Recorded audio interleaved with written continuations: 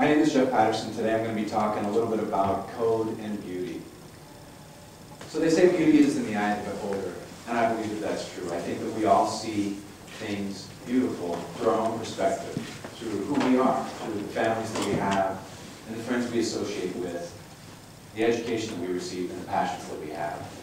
Everybody in this room is from a similar enough background that we likely all, when we see this Monet, find it beautiful.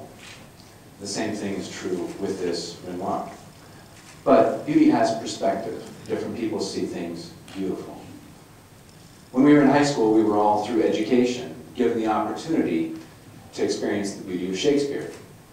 For some of us, this left a deep, profound mark, and we became lifelong Shakespeare lovers. For others of us, this was an enrichment opportunity that maybe was soon forgotten. Same thing for classical music. There are those of us in this room that enjoy going to the symphony, and there are others that when a classical song comes on the radio, we turn the dial. Things that are functional can be beautiful as well. We likely can all see the beauty in these buildings, but a trained architect can see beauty in a building that to me is just a structure. The architect can appreciate things about that that I can't appreciate and see beauty where I can't see it. So when I flash this image up on the screen, everybody in this room has some kind of reaction. Everybody feels something or thinks something. For some people, it might be an emotional response. It might be confusion or maybe even fear.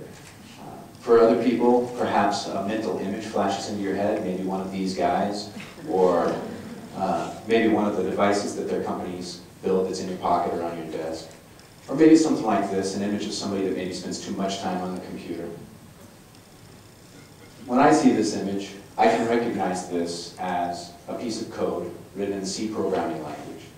It's written to solve the mathematical factorial problem, and it's done using a recursive algorithm. But aside from all those mechanical things, I can see that this is elegantly written. I can see that this is beautiful code. When I see this, I get an emotional response. Because for me, code can be like poetry. So I want to tell you the story about a fourth grade boy in 1984 growing up in Dillingham, Alaska, a small fishing village. And this boy was sitting in class one day and the teacher said, class get up, we're going to another classroom. So he got up, he got in line and followed the class down to a part of the school he wasn't familiar with. And as they were reaching their classroom destination, he could see into the classroom and there were tables set up and chairs and in front of each chair was a device, a piece of technology. He couldn't see it very well, but he was starting to get kind of excited.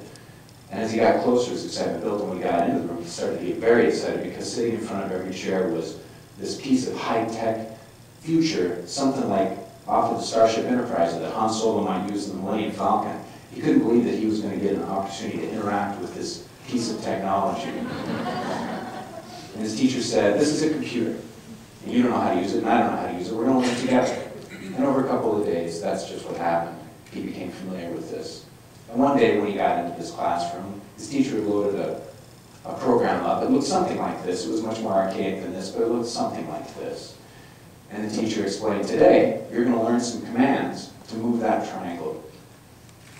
That boy's engaged. He's sitting there, he's ready to go. He's chomping at the bit. The teacher ruffles around and gets a typewritten piece of paper out and reads on the top, okay, the first command we're going to issue is FD space 100. Everybody type that in, FD space 100.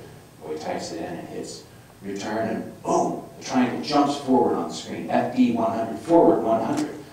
Boy's getting pretty excited now. What's the next command? What's the next command? The teacher looks down at the paper. LT space 90. L, LT space 90. Type that in. LT space 90, return. LT space left turn, 90 degrees.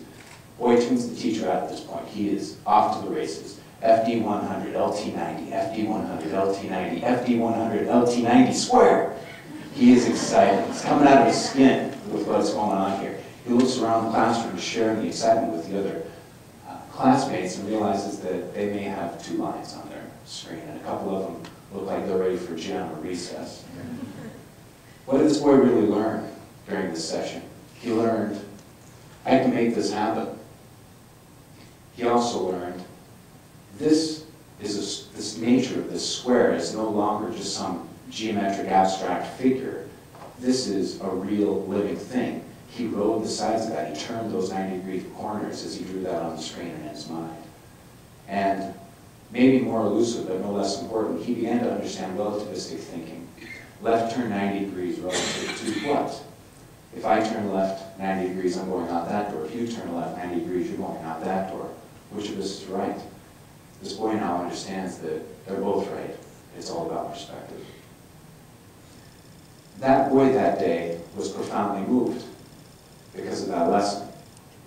And a lot of the kids in there weren't profoundly moved, but every kid that came out of that classroom had a deeper appreciation and an understanding of that machine that they had sat down in front of.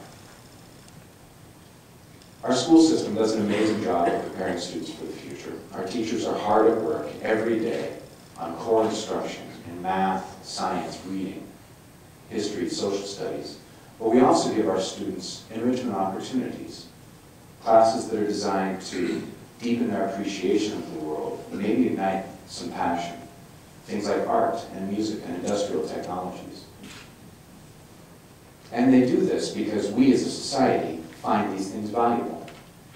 But I think it might be time for us as a society to evolve what we value. I'm going to tell you a few statistics. I'm not going to bore you with a bunch, but it's projected that by 2020, which is about six years away, sounds like it's a long ways away, six years away, it's projected that there will be about 1 million computer science related jobs in this country unfilled because we don't have people going into this profession. And these are good jobs. These are high paying jobs. Today, a four-year college graduate in computer science is amongst the most sought after employee. They can demand an average starting salary of $78,000. Four-year degree, no experience, average starting salary of $78,000, and they can live wherever they want in the world. These are startling statistics, but perhaps the most startling is, given that this is the world that we live in and the world that we're entering, that only one in 10 of our schools formally introduce students to code. Nine in 10 are missing out on this great opportunity. Now, how is it that the world that we live in has this future and this present, but nine of 10 schools is not taking an opportunity to expose students to code? I think it's for two different reasons. I think the first reason is, is that teachers are busy.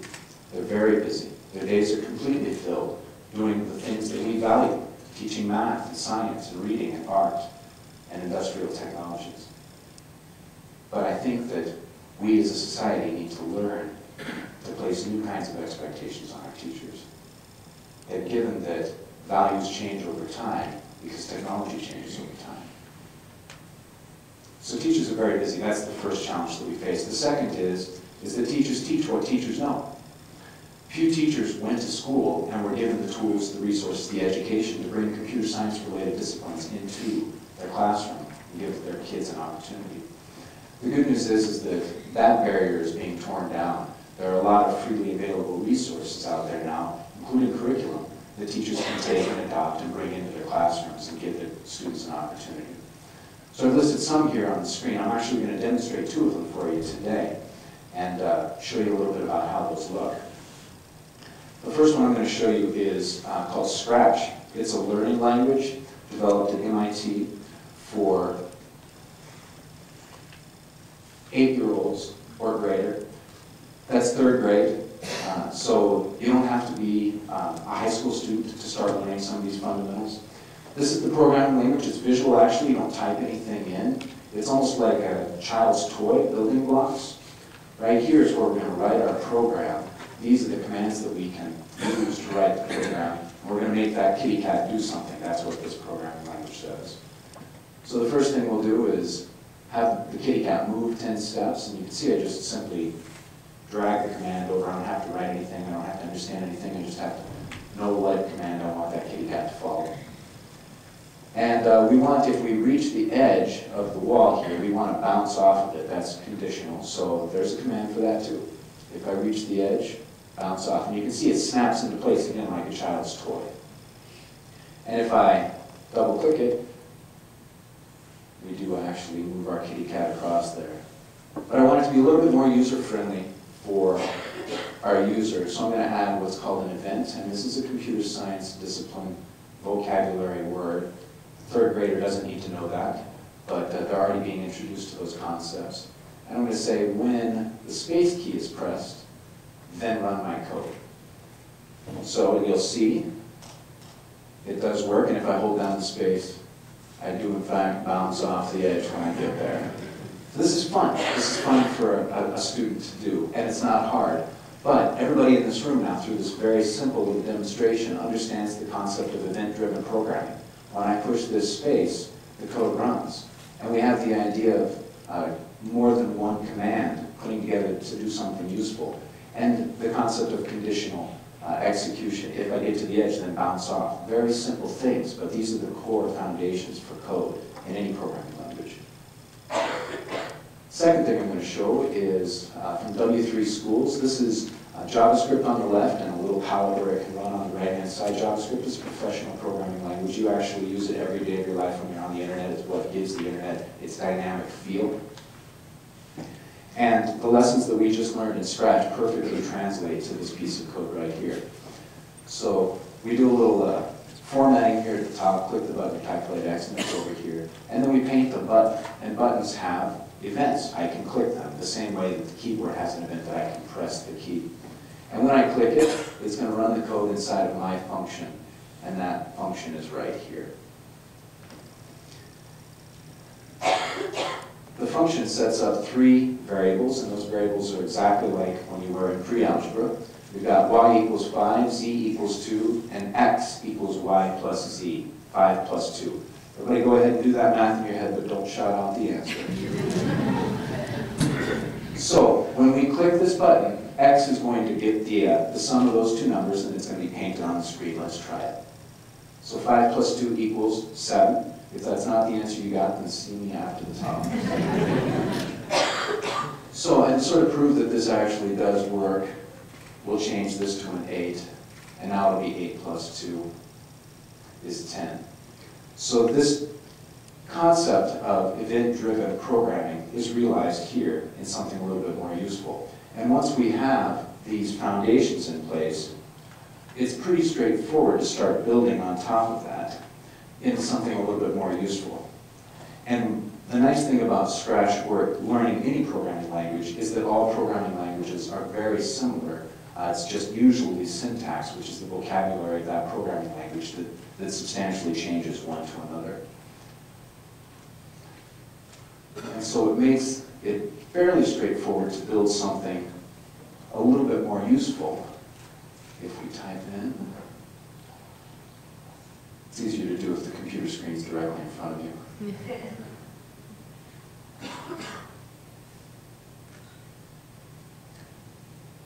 and build something that is a little bit more real world applicable.